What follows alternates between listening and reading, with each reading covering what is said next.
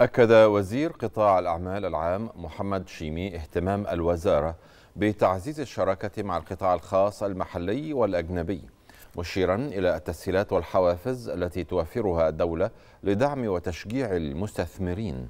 جاء ذلك خلال لقاء الوزير مع مراد أصلانوف مدير المكتب الإقليمي لشركة روساتوم الروسية في مصر. الشركة الرائدة في مجال الطاقة والتكنولوجيا النووية والوفد المرافق له. وذلك لبحث سبل التعاون المشترك.